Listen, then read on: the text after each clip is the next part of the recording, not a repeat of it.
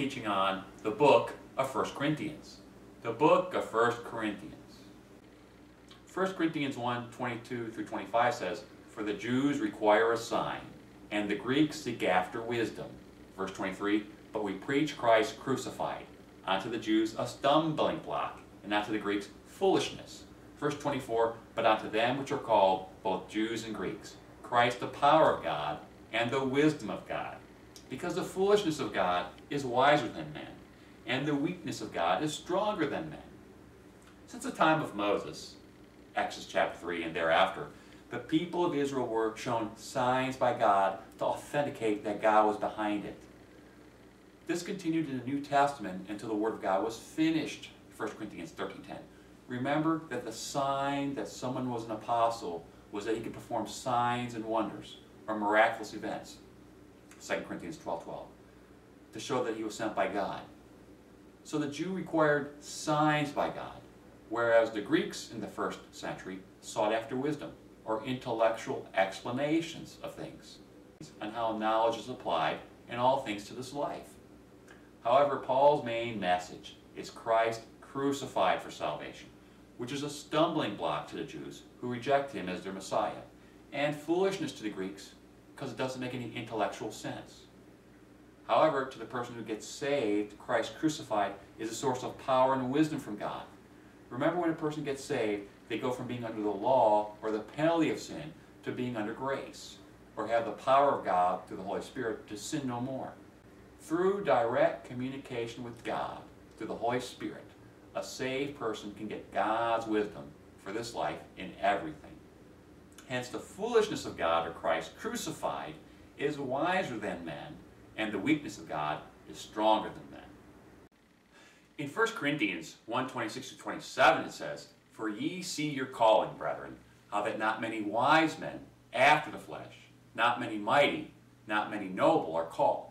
Verse 27, But God has chosen the foolish things of the world to confound the wise, and God has chosen the weak things of the world to confound the things which are mighty. As a result of the way God set it up, not many who trust in the wisdom of man, you know, the educated or intellectually smart, the physically strong, nor noble or high up in the civil authority ranks, so on and so forth, they don't get saved or get called in God's foreknowledge.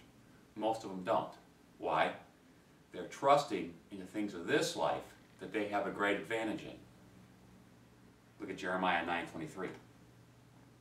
Hence, God uses the foolish things of the world, the not educated, the not physically strong, not high up in civil authority or social standing, so on and so forth, to confound the wise, as well as the weak things, to confound or confuse the things which are mighty. You know, before I got saved, I was very strong and very smart. I got saved, and I started having health issues almost immediately. I found that slowly over time, my health became more restricted, and I had to find ways to serve the Lord that the normal, healthy person took for granted. In terms of wisdom, I was very good in math, but I was poor in English, and I was poor with interacting with people. So what did God do? He called me to preach, and I had to literally preach to hundreds of thousands of people. And if you take the television ministry, literally millions. And when I traveled as an evangelist to preach at the fairs, festivals, and flea markets, guess what? I had to talk to people. I had to be really good with people. I got to the point where people were just so impressed with my abilities. And it was like, boy, if they only knew who I really was, and that God did it all. Moreover, God gave me an internet ministry where I write books, teachings, and sermons without anyone's help that are being downloaded by the truckload every month. I wasn't good at English, wasn't good at writing, wasn't good at organizing my thoughts. So what did God do? Did he use my strengths? No. He used my weaknesses. It confounded me, and it confounded everybody, but the Word of God was preached, and God was glorified greatly. And to top all this off, I did it without a church salary. And I worked full time to support myself while everyone was opposing me. I also did all the editing as well as figure out the software to make it happen, which was another weakness of mine.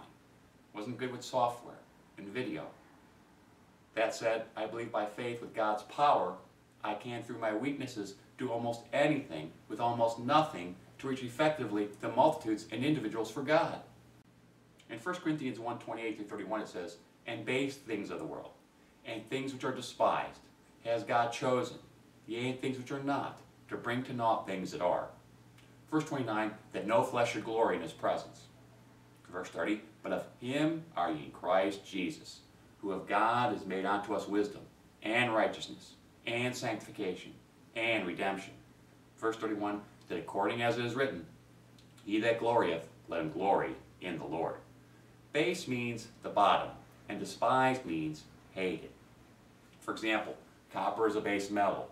Currently, at the time of this videoing, it traded for about 20 cents an ounce, or about $3.20 a pound. Whereas gold was trading at $1,673 an ounce.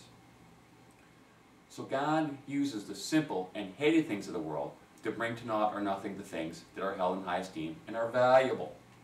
For example, believing Jesus for salvation and going to heaven when you die is simple, whereas trying to be good in the future, evolving over several so-called lives of reincarnation to get to heaven, that's complicated.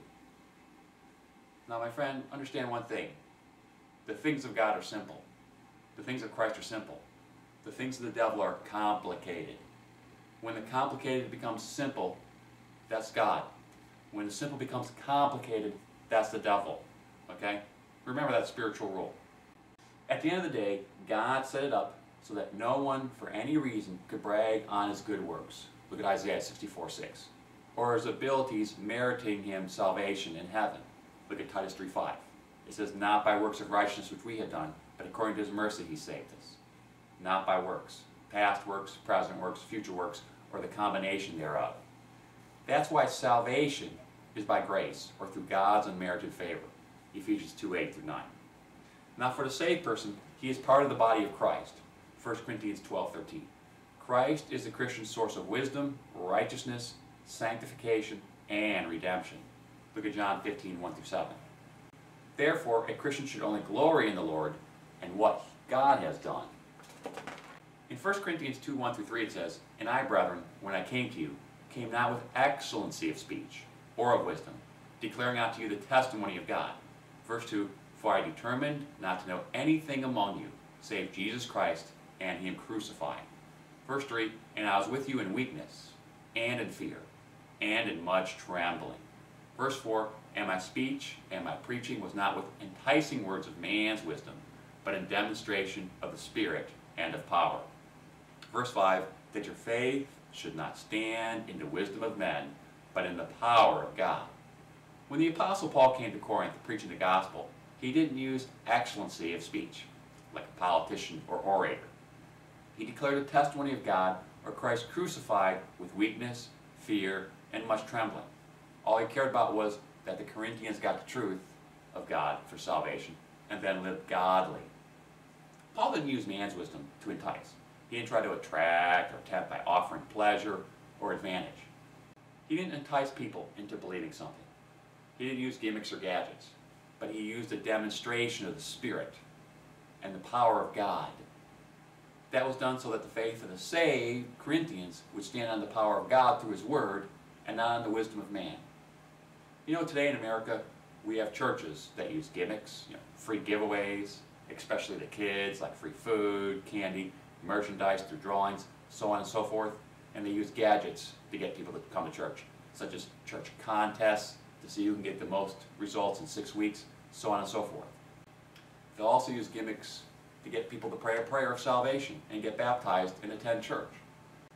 Now, Christian, salvation is serious. They've got to repent. They've got to believe by faith. They've got to understand. If they don't, you know, they're just praying into the wind. God won't save them. They need to understand what baptism is and why they're doing it. Otherwise, it's a waste of time.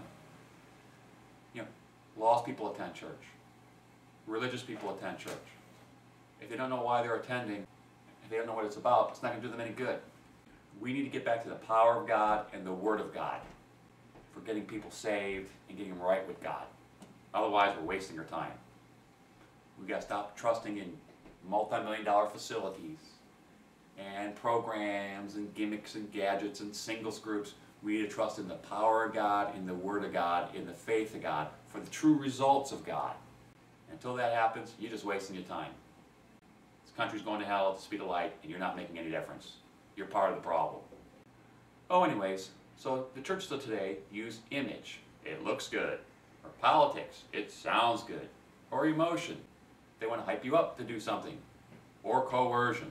Create an environment to force you to do things. You know, the constant ultimatum. They try to make you look bad. They play down what they don't want, and they play up what they do want. Even if you're acting holy, and they're acting unholy. That's what religion does. They have a religious agenda. They don't care whether it's right or wrong, they're going to do it. That's not the Bible. Christian, you should say, if God says it, I need to do it. If I don't understand it, tell God the truth. I'm an idiot. I don't understand it. Could you explain it to me? If you're not sure, be safe. Don't. Wait till you find out what it means or whether or not you should do something. Then do it by faith. Don't rush blindly into things. And leaders, talk to your congregation. Be honest with them. Let them ask questions. Let them question. Let them cast doubt on you. Let them challenge you. And you guys work it out and work through your faith, through fear and trembling. That way the leadership grows and the congregation grows. And then you have a congregation that can train the next generation in their church as well as reach out in the community and train others. As well as seeing the multitudes saved and get the word of God out. Rather than what we have in America today, where it seems like the homosexual movement has more power than the churches do. And other such nonsense. How pathetic. Anyways, I have also seen churches manipulate the situation to get people to work for the church in the name of serving the Lord and surrender for the ministry. That shouldn't be the case. It's not about how you manipulate the situation, how you play the politics. Let God lead. Let God manipulate. Let God work things out. And I've also seen people, when they realize what's going on that are holy, they leave those churches. Because man's in control, not God. Man will use the Bible to push his religious agenda to control the people. Convince them that if they leave their brain at the door, everything will be fine. Sound familiar? Sound like your church? Looking for a real one? Come visit mine. So the problem here is that people are serving the Lord for the wrong reasons, and people are coming to church for the wrong reasons, and people are going to church for the wrong reasons. As a result, carnality takes over the leadership, and the congregation becomes either carnal, as well as a lot of lost people join the church who think they're saved. Meanwhile, those living godly and teaching and preaching godliness against the will of the religious and carnal leadership are found offenders and either compromise their standards or leave the church altogether. For example, I used to attend a church where a person there, he won a contest for an all expense paid trip for the results he had in a promotion. But that person was as carnal as can be. And later, he went on to live openly with an unmarried girl without shame. And all the church knew about him. But for that six weeks, he was a spiritual man. No, he wasn't. He was just the religious man. His heart was in the world. Before and after that contest, his spirituality was rarely seen. Later on, a few years later, the guy actually got saved. And what's my point here? You know, the flesh can win a contest. The flesh can get hyped up in religion. The flesh can obey our religious rules. But the flesh doesn't get saved. The flesh is not holy. You've got to get saved, You've got to get the Spirit of God in you, and God's got to do it through you. Otherwise, it doesn't count. It's like ironing your clothes without plugging the iron in. You're doing all the right motions for a period of time, but the power is not on. You're not plugged into God. And you see, if you want to re renew yourself every day, Christian, you got to do it in the power of God. You do it in the flesh, it's not going to do you any good. So, like that person there, he did it in the flesh, but until God dealt with him in the Word of God, in the power of God, like Paul preached, nothing spiritually happened. You know, sadly to say, the church grows numerically, but it doesn't grow spiritually. And to accommodate for the carnality and the worldliness, the church has to compromise to keep the number, as well as the offerings and the prestige that goes with it. Meanwhile, the holy people get run off or marginalized or they compromise the state. And that's America for you. Churches on every corner, no power of God. So, after a person is saved, his only motivation for doing right should be future rewards. Look at 2 Corinthians 5.10. Also, he should fear the punishment for sinning. Hebrews 12, 6 and 7. Or the blessings in this life from God. Mark 10, 29 to 30. Which, by the way, includes persecutions. Okay? 2 Timothy 3.12. And to fellowship with God. John 14, 21, 23. You know, if you're going to be fellowshipping with God forever, Christian, why don't you start now? Practice now. Practice now having a full relationship with God and being sold out to God and loving God and just throwing away everything the world has to offer and selling out everything that God has to offer. That's what you're going to be doing for forever. Start now. In my New Testament church, if the scriptures of God don't motivate a person to be spiritual, I'll just pray for that person and let God take it from there. The New Testament church is not to be like a concert, carnival, or sporting event. Look at 1 John 2, 15 through 17 but a training center to live godly, Titus 2.12. You know, that's the Christian's first love, godliness. And to evangelize the world, Mark 16.15. That's the Christian's first work. And if your church isn't doing the first work of evangelism and the first love of holiness, how can anything else be right? And that's why a lot of churches out there don't even have a Word of God in their building. And if they did, they don't even believe it's perfect. And the only perfect Bible in English is the Old King James Authorized Version. You don't, if you don't have one, get you a copy. Go to my website there. And you want the original perfect manuscript? Go to my website there. Got a copy of that one too. Something you put in your hand and say, this is God's word. This is God's final authority in all of life. Psalms 138 verse 2. And when you do that, you'll get a hold of God and find out God's will for your life. 1 Corinthians 2, 6 through 8 says, Howbeit we speak wisdom among them that are perfect, yet not the wisdom of this world, nor the princes of this world, that come to naught. Verse 7 But we speak the wisdom of God in a mystery, even the hidden wisdom, which God ordained before the world unto our glory. Verse 8 Which none of the princes of this world knew, for had they known it, they would have crucified the Lord of glory. Paul spoke the wisdom of God. Proverbs 1 7, Proverbs 9.10, Amongst those that were perfect, or evidently those in the world who think they are. He didn't speak the wisdom of the world you know, like the college professors, the evolutionists, the psychologists, the philosophers, nor the princes or leaders of the world. You know, like the American Congress or Supreme Court, the socialist and communist governments, so on and so forth. Paul spoke the wisdom of God in a mystery, 1 Timothy 3.16. You know, God was manifest in the flesh. His name is Jesus. Jesus was God, manifest in the flesh, Muslims, John 1.14, and dwelt among us. He's the Savior. He's God, not Allah. You trust in Allah, you're going straight to hell. You need to trust in Jesus. He said, I am the way, the truth, and the life. No man comes unto the Father but by me, John 14, 6. Time to wake up and smell the coffee. Jesus died for mankind's sin, John 129. Behold the Lamb of God, which taketh away the sin of the world. He can take away your sin, Muslim, and save you. If you want more information on salvation, wait to the end of the show. I've got a seven minute presentation. Jesus rose from the dead and then went back up to heaven, Acts 1 8 through 11. Before the crucifixion, it was a mystery or hidden wisdom on how God would make this happen. Yet to be saved, you have to believe it by faith.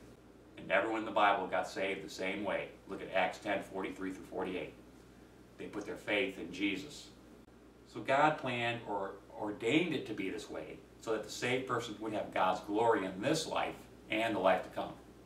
That said, if the leaders of the world would have understood God's perfect word, Psalms 19:7, they would not have wrongfully turned over Jesus to be crucified, you know, to Pilate, Herod, the Roman authority of the day. 1 Corinthians 2, 9 through 10 says, But as it is written, eye has not seen, nor ear heard, neither have entered into the heart of man the things which God has prepared for them that love him. First to end, but God has revealed them unto us by his Spirit. For the Spirit searcheth all things, yea, the deep things of God. In the life to come, man hasn't seen, heard, or even thought about the things which God will do for him in the future. However, to the saved person, God has revealed some of those things that he will do through the Spirit of God. You know, the millennium, eternity, Revelations 20 through 22. And if you want more information on that, download my book on the book of Revelation. 1 Corinthians 2 11 through 13 says, For what man knoweth the things of a man, save the spirit of a man which is in him? Even so, the things of God knoweth no man, but the Spirit of God. Verse 12 Now we have received not the Spirit of the world, but the Spirit which is of God, that we might know the things that are freely given to us of God. Verse 13 Which things also we speak, not in the words which man's wisdom teacheth, but which the Holy Ghost teacheth, comparing spiritual things with spiritual. The spirit of man is what connects the mind or soul to the flesh when carrying out an operation. Hence, the spirit of man knows the things of man or his thoughts and actions. Likewise, the spirit of God knows the things of God or his thoughts and actions. When a lost person gets saved, he gets the Holy Spirit put in him. Ephesians 1.13. Now the saved person can know the things of God and choose them in the power of God when carrying out the operation of God. 1 Peter 1.15 and 16. As a result, the Christian can testify or speak in the power of God. Matthew 10.20. What God requires and teaches. He can also compare spiritual with spiritual as well as scripture with scripture. 2 Peter 1.20. To put the spiritual pieces together to figure out what God requires for him in this life in every aspect. Technically speaking, a spirit is your ghost inside your body. A ghost is when your spirit leaves your body like a death. The Holy Spirit is God's spirit inside our body. However, he is outside of God's body, or the body of Jesus, while in the believer's body, as well as always free roaming, and hence he is called the Holy Ghost. 1 John 5 7. 1 Corinthians 2 14 through 16 says, But the natural man receiveth not the things of the Spirit of God, for they are foolishness unto him. Neither can he know them, because they are spiritually discerned.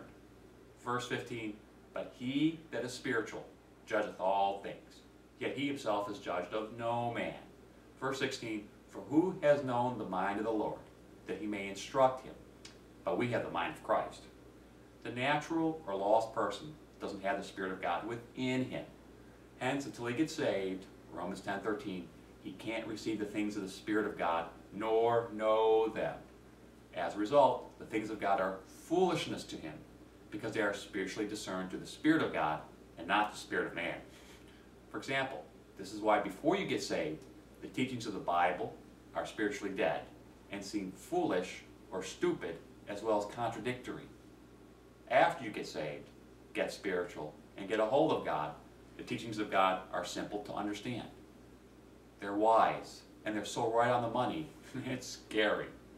You know, for example, you see what's going on in America today and in Europe? Read the Old Testament. Read my verse by verse commentary. It's like history's repeating itself, right on the money in America. It's so true, it's scary. And if the Christians would have known the Old Testament like they're supposed to, they'd be crying out in the streets and preaching everywhere, warning people. Instead, the Old Testament is a dead book to them. And they're like, well, I guess this is just what's supposed to happen. Stupid Christian, wake up. And if you need some help, read my uh, books on the Old Testament, verse by verse commentary. And if you need a church to explain to you, come visit mine. It's free in your price range. Okay? I'm just trying to help you. So when you are spiritual or saved, not carnal, you can get a hold of God and understand any spiritual truth as well as make correct spiritual judgments of all things in this life. John 7 24. When you make correct spiritual judgments of God, now man can judge you and say that you are wrong. You know, John 7 24 says, judge righteous judgment. Christian, you can make correct spiritual judgments when you're spiritual and you get a hold of God. God just doesn't want you to judge hypocritically, Matthew 7 1 through 5. So once you're spiritual, you can judge and say what's right, what's wrong, how to get the wrong right, how to keep the right right. And you judge according to God's word, not your own. So the Christian, through assessing the Spirit of God within him, can know the mind of the Lord in every situation. Man can't instruct God, only God can instruct man. Remember, that the Bible is all about judging things correctly in this life. In civil government, they have laws, statutes, a police force, army, circuit courts, Supreme Court, so on and so forth, to judge and to enforce judgments. So don't give me the baloney, oh, love, don't judge. That's what liberals say, okay? Don't fall for that, Christian. The world is full of continual judgments. They need to be spiritual judgments. You judge every day. Just don't judge hypocritically. Matthew 7, 1 through 5. Like the liberals always do. Like the Democrat Party always seems to do. They say one thing and do another. I mean, this last election cycle, some of the most ridiculous things I've ever heard have come from the Democrats. Anyways, I digress. Hypocrisy is not righteous judging. You know, like the kind you find with the liberal media, Hollywood, Al Sharpton, Jesse Jackson, so on and so forth. You know, NBC, ABC, CBS, CNN, so on and so forth. This is why it's good to have an old King James Bible part of everyone's education growing up. You had the perfect book with perfect laws and judgments, John 12, 48. But our genius government kicked the Bible out back in the 60s. And now we have drugs, violence, fornication in its place, along with a crummy education system that gives the average kid six years of training in 12 years. That's what happens when you don't judge righteously and you kick God out. Now, we will continue with our lesson on the book of 1 Corinthians. But now we're going to pause for a commercial. What does the Bible say about gay and lesbian marriages? Well, first of all, all through the Bible, marriage is between a man and a woman. It's never between a man and a man or a woman and a woman. You know, the Bible says in Leviticus 18 22, Thou shalt not lie with mankind as with womankind. It is an abomination. Hey, even the actual sexual practice was condemned all through the Bible. Now, a lot of people say, hey, look, we don't want religion in the courthouse, but listen, it's not religion that we want out of the courthouse. We want sin out of the courthouse. Hey, we've got enough corruption. Okay? Now, in the Bible, just like any other sin, God judges the person who practices it and the nation that condones it. Now, we don't hate the sinner, we hate the sin. Okay? Now look, you've committed the act of sodomy or being gay or lesbian. Look, God can forgive you, but you need to repent of it and do what's right. Now, Christians, look, if God doesn't go for the act of being gay or lesbian, He's certainly not going to go for gay or lesbian marriages. We need to unite and stand against gay and lesbian marriages in the state of Louisiana and make a stand for God. Hey, it's God's way, it's the right way, it's the Bible way. What does the Bible say about abortion? Look, abortion is plainly murder. You know, God always recognized a person in the womb. If you look at Genesis 25, verse 23, the Bible said, And the Lord said unto her, Two nations are in thy womb, and two manner of people shall be separated from thy bowels. You know, now if it's a person in the womb, and it's not a fetus, and we kill it, it's plainly murder. And you know in the Ten Commandments, the Bible says, Thou shalt not kill. Now look, a lot of people say, look, I'm tired of people putting their morals on me, you know, in society. But look, we don't want to get religion out of our morals in society. We want to get sin and unrighteousness out of our morals in society. The Bible says that sin is a reproach to any people. Now, we don't hate the sinner, we hate the sin. Look, you've committed abortion, look, God can forgive you, He loves you, He still wants to save you, you can still serve Him, but you just got to put it behind you and just do what's right. Okay? Now, Christians, look, abortion is murder.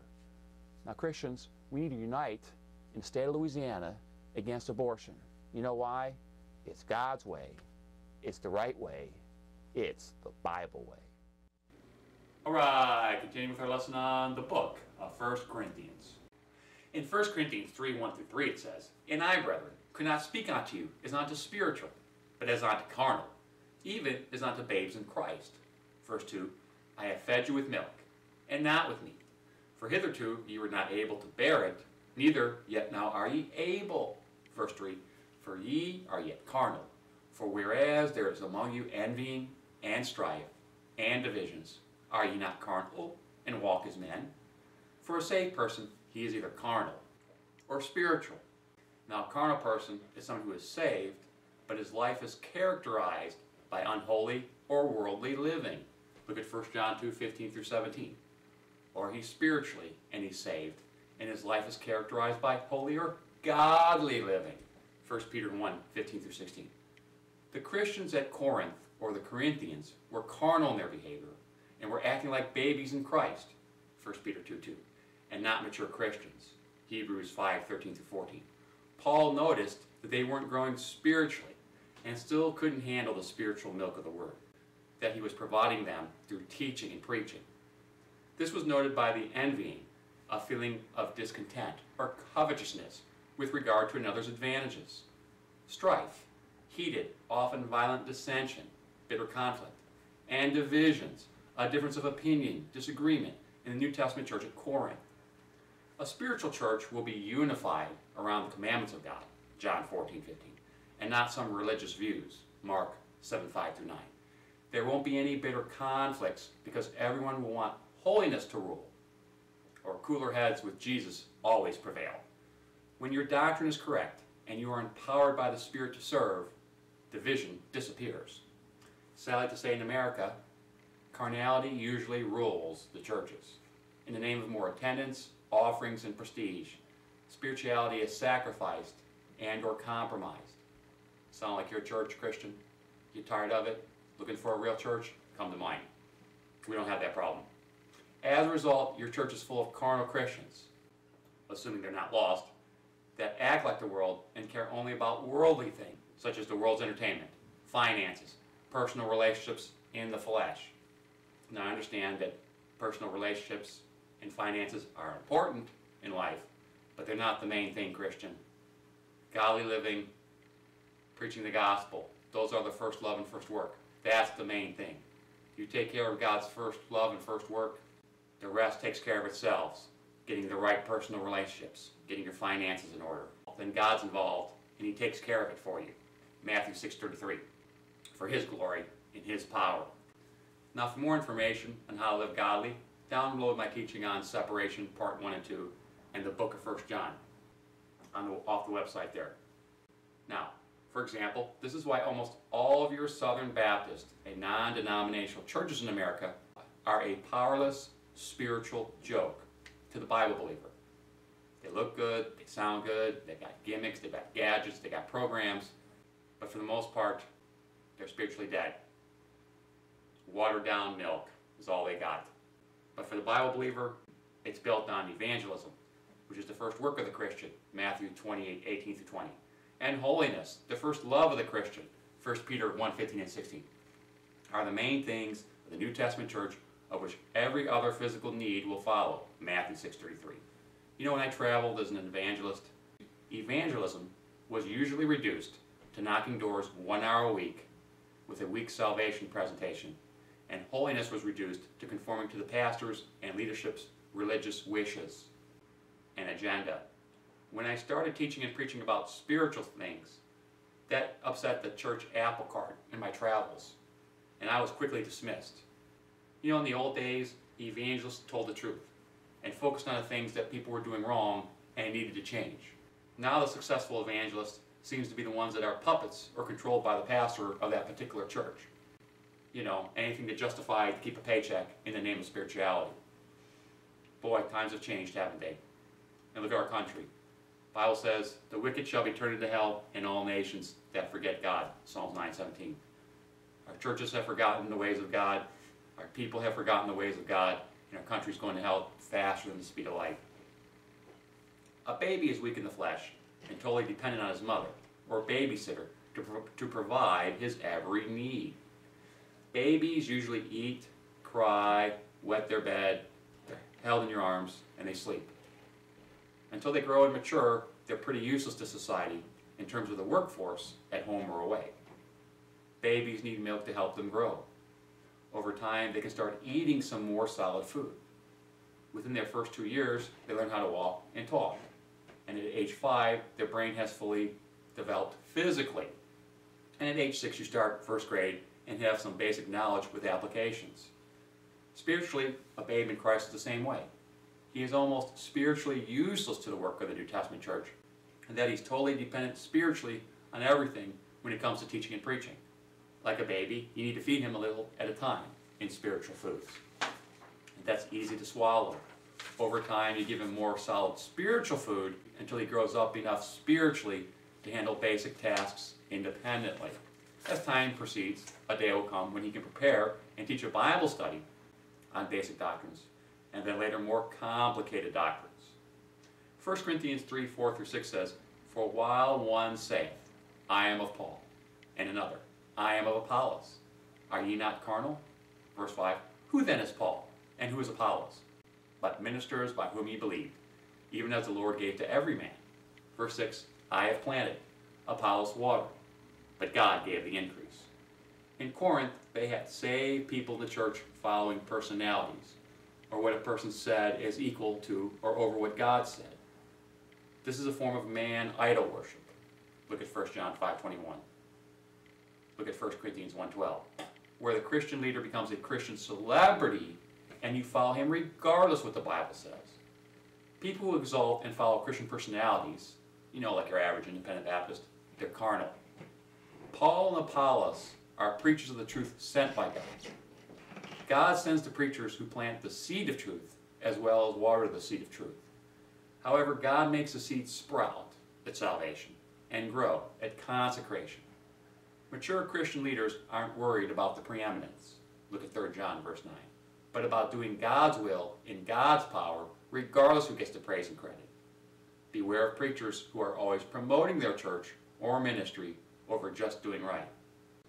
You know, I remember one person from a big Baptist Bible school who claimed that their Bible school was first place and mine was second place, rather than promote the propagation of Bible schools with the learning thereof. A teacher said that no one ever did anything that went to a Bible correspondence school, like I did. It's sad how their church and school was full of corruption, carnality, and Phariseeism. Not to mention that they made national news because their pastor had sex with a minor. Oh, brother.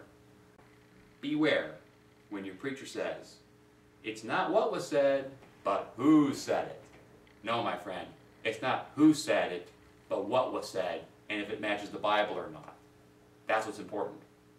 Now, a person who does that, he's promoting a person or personality equal to or over the Word of God. That's dangerous. I have experienced this as an evangelist. And here are some of the replies I got when I responded to some issue by saying, but the Bible says otherwise on any particular issue. They say things like, well, the pastor's always right. No, my friend, the Bible's always right. Even God's under his word. Psalms 138, verse 2. Another response. I would never go against the teachings of Dr. So-and-so. You know, I could put several names in the blank there. It doesn't matter what Dr. So-and-so says if Dr. Jesus says otherwise, according to his word. Amen? There are many Dr. So-and-sos who violate the user's manual. You know, the Bible, basic instructions before leaving earth. Here's another one. I don't care whether he's right or wrong, I'm going to do what he says. Okay, fine. Leave your brain at the door. Be like the liberals, okay? Be like the Democrats. Don't think, just follow. Help destroy the country. What a stupid idea, man. Christian, God taught you to muse, to think on His Word, which is the opposite of amuse, or not to think. You know, if the pastor's wrong, he's wrong, according to God's Word. Do what God says. You have personal accountability. Yes, you're under authority, and you have to submit to authority, but you don't have to submit to sin. That's where personal accountability and authority separate. Look at my teaching on proper authority off the website there. and learn the Bible. And finally, here's one. The pastor says, I am okay, so therefore I am okay. Well, if you're not okay, according to the Word of God, you're not okay, regardless of what your pastor says. A lot of pastors out there that have been caught with pornography, adultery, fornication, stealing, and they say you're okay. If God doesn't say you're okay, if the Bible doesn't say you're okay, you're not okay, Christian. That's the standard of living. Psalm 138, verse 2. Psalm 19, 7. Psalm 12, 6 and 7. And that's the old King James Bible for the English-speaking people. Go on my website and download you one. Stop making excuses in your life and saying things like, oh, well, it's, the system, I'll work with the system until the system, oh, just shut up. Stop making excuses for your sin. Go with God's system, the Bible. If they don't want to go with it, then leave them behind. You looking for a real church? Come to mine. So I like to say in some of these churches, pastors were later caught stealing and or fornicating. Also, these churches are spiritually dwarfed by the usual line of baloney of politically controlled manipulation of the facts and the justice thereof, while proclaiming to be the best of the best. You've never been loved, you've been loved by us. Mm-hmm. Yeah. So on and so forth. 1 Corinthians 3 7 through 9 says, So then neither is he that planteth anything, neither he that watereth, but God that giveth the increase. Verse 8 Now he that planteth and he that watereth are one, and every man shall receive his own reward according to his own labor. Verse 9 For we are laborers together with God. Ye are God's husbandry, ye are God's building. Paul makes it clear that God is the one that saves a person and helps him grow spiritually through the scriptures. The preacher is just a vessel that God chooses to use. Look at 1 Timothy 1 19 through 21. That's why in my church, I'm a team leader. I mean, someone's got to be in charge. Someone's got to prepare the lessons. Someone's got to give guidance. But people don't leave their brains at the door. We encourage them to bring them in. We encourage them to ask questions. We encourage them to go home and look it up and study and get a hold of God and find out God's will for their life. We teach them how to get it independently. We teach them how to train others to get it independently. That's what the training center of the church is. And I just pray for people and give them the Word of God and let God deal with them. And it always works out. So a Christian shouldn't praise the vessel or a person that God uses, but glorify God for what that person has done. Remember that at the judgment seat of Christ, God will reward fully the one that waters and plants in the ministry of God. Christians labor together as a team to build up God's body of believers, 1 Corinthians 12. God's building, 1 Peter 2.5. And God's husbandry, or the care of a household, or God's house, which is a New Testament church where the believers meet in the power of God. Or at least they're supposed to meet in the power of God, otherwise, God isn't visiting them, and they're wasting their time. 1 Corinthians 3 10 through 11 says, According to the grace of God, which is given unto me as a wise master builder, I have laid the foundation, and another buildeth thereon. But let every man take heed how he buildeth thereupon. Verse 11 For other foundation can no man lay than that is laid, which is Jesus Christ. Paul is God's master builder in making the building of God, which is a New Testament church on earth. The foundation of the building is a concrete slab that the rest of the building is built on. Spiritually, Paul laid the foundation of Jesus Christ, who is the only source of salvation, John 14, 6. And the foundation of consecration is Jesus Christ, John 14, 15, John 15, 1 through 7. You know, as a missionary, Paul started New Testament churches where before there were no churches. Behind him were people trained and ordained to take his place in running these New Testament churches after he was gone. Hence, others built on his foundation. Now, Paul also warned on being careful how you build on that foundation. In construction, if you don't build on the foundation properly, you have problems with certain parts of your building later on. And spiritually, it's the same way. 1 Corinthians 3.12 through 15 says, Now if any man build upon this foundation, gold, silver, precious stones, wood, hay, stubble. Verse 13, Every man's work shall be made manifest, for the day shall declare it, because it shall be revealed by fire, and the fire shall try every man's work of what sort it is. Verse 14, If any man's work abide which he has built thereupon, he shall receive a reward. Verse 15, If any man's work shall be burned, he shall suffer loss, but he himself shall be saved, yet so as by fire. The spiritual foundation for any Christian is salvation or Jesus Christ. Ephesians 2 8 9. He is saved to do good works. Ephesians 2 10, which builds upon this foundation.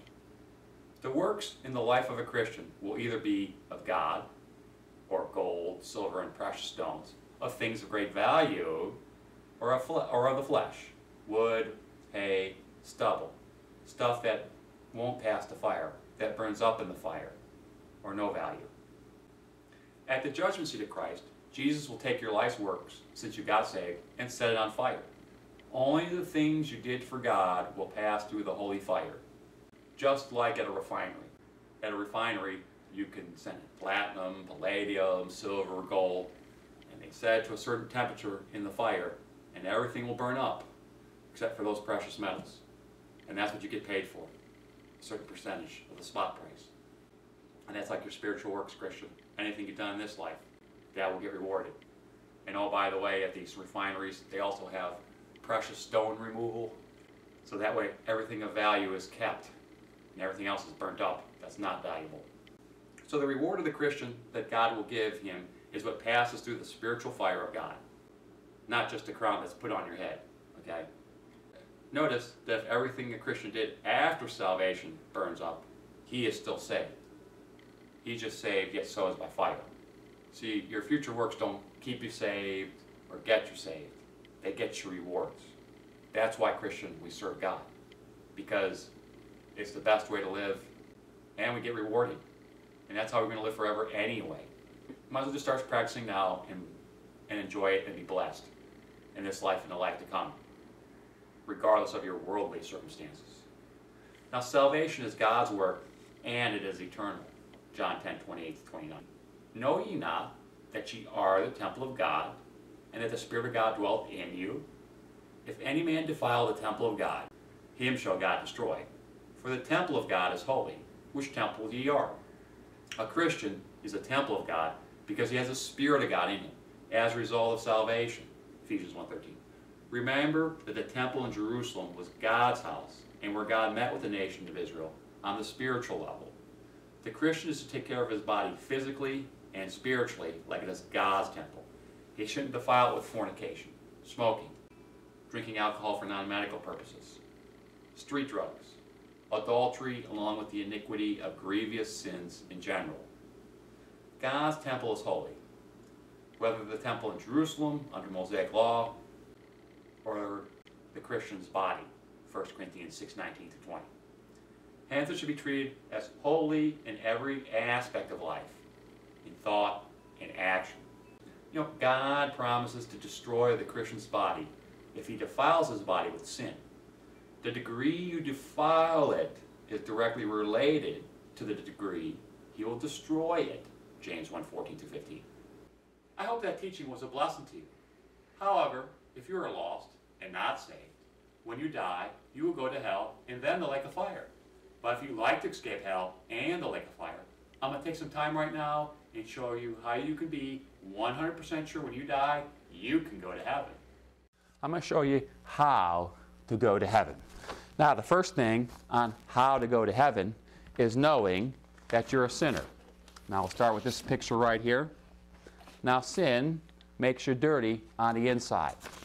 You know, the Bible says that the thought of foolishness is sin. You ever made a dirty thought? Made a wicked thought? Made you feel dirty on the inside? Well, that's what sin will do. Sin is when you break God's law. You ever disobey your parents? Well, the Bible says, uh, honor thy father and thy mother. So, kids, you ever do what's wrong? Well, hey, that's a sin.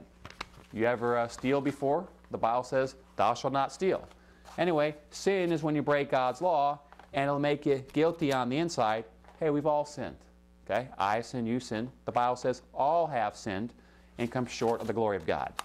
Once you recognize you're a sinner, then you need to recognize God has to punish sin. Now, why do parents punish their kids? For being bad, right? Well, why would God punish you? Same reason. Now, you notice there's two places where a person can go either the heaven or the lake of fire. Okay? Now, why would a person go to the lake of fire? Bible says, for the wages of sin is death. Okay? God has to be just and punish our sins, just like you have to punish your kids when they're bad. But the Bible says the gift of God is eternal life through Jesus Christ our Lord. God provides a way to heaven, and that's through Jesus. Now, what did Jesus do on the cross? He died for our sins. Now, the Bible says that in 1 John 5.20, says, and we know that the Son of God has come and has given us an understanding that we may know him that is true, and we are in him that is true, even in His Son, Jesus Christ. This is the true God and eternal life. So Jesus, He's the Son of God, He's God, and He's eternal life. So we have to go to God, the one who died on the cross, was buried, and rose from the dead three days later for our sins for forgiveness. Now, another thing you need to do is you need to repent. You need to turn to God from your sins. Bible says, I tell you nay, but except you repent, you shall all likewise perish. Now, these people right here, who do you think God could forgive? Well, they've got a change of heart. He doesn't have a change of heart. That's what repentance is. It's, turn, it's a change of heart towards God. Your want to changes. Okay? Yeah. When you want to change, then God can forgive you. You can't be sorry that you just got caught. Okay? You got to be sorry and want to change. Okay? Then once you have a repentant heart, let me show you what to do next. Bible says in 1 John 1 7 that it's the blood of Jesus Christ, his Son, that cleanses us from all sin. Okay? Now, what God wants to do, He wants to forgive all of your sin. He wants to forgive your past sin, your present sin, and your future sin once for all by His blood. Now, so once all your sins are forgiven, hey, where would you go? Heaven. Hey, if my past sins and my present sins and my future sins are all gone, I'm going to heaven. And then the Bible says that when we get forgiven, that the Spirit of God comes in. And when we have spirit, uh, when we have the Spirit of God within us, we know we're saved. The Bible says in Ephesians 1:13 that in whom you also, I'm sorry, in whom you also trusted, after that you heard the word of truth, the gospel of your salvation, in whom also after that you believed, you were sealed with that Holy Spirit of promise. Okay? You know, when you get sealed by God's Spirit, it's like being born into God's family. Now, when you got born, you were born into a bloodline, right? Now, does that ever change? Of course not. Once you're born to a bloodline, it's forever. Well, in the same way, once you're born into God's bloodline, He seals you, it's forever. It's eternal. It will never change. Now, notice, it's not by good works. Now, don't get me wrong. God wants you to be good, okay? After you're saved, He wants you to go to church. He wants you to get baptized. He wants you to read the Bible. He wants you to pray. He wants you to do what's right. But works will never save you. Hey, were you born into your family's bloodline because you were good? No. You were born that way. Hey, if you do something bad, can you be unborn out of your family's bloodline? No. It never changes. It's eternal. See, the Bible says, not by works of righteousness, which we have done, but according to his mercy, he saved us, by the washing of regeneration and renewing of the Holy Ghost. Okay? The blood washes us clean, the Spirit of God comes in, we are saved forever. Now, if you would like to be forgiven, what I'm going to do is I'm going to pray out loud like I want God to forgive me. And if you want to be forgiven, you just pray along and just ask God to forgive you. Okay? Now, Bible says, Whosoever shall call upon the name of the Lord shall be saved. Anyone can do it anywhere. You just got to mean it in your heart. Okay? Now, if you're just going to laugh and not be serious, you'll be like this guy. But if you're serious and you want to change and trust His blood only, He can save you. So, what I'm going to do, I'm going to bow my head. I'm going to pray out loud like I want God to forgive me. And I'll say a few words. I'll pause. Then you can pray, and I'll say a few more words, and then I'll pause. You can pray, and you can ask the Lord to save you. Okay? So let's bow our heads. If you want to be saved, let's pray. Lord Jesus, I know I'm a sinner. I deserve to go to the lake of fire. But I want to change. Please forgive me of all my sins by your blood once for all so I can go to heaven. Amen.